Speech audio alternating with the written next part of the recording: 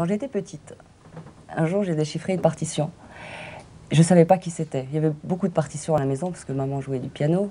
Mon grand-père aussi, c'est le côté russe. Et tout à coup, j'ai déchiffré une phrase comme ça qui était là sur le piano. Et je me suis dit, qui a écrit ça? Comment quelqu'un peut écrire une chose aussi belle?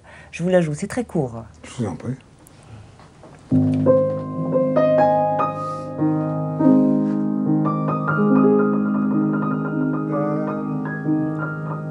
Ouais, c'est ça.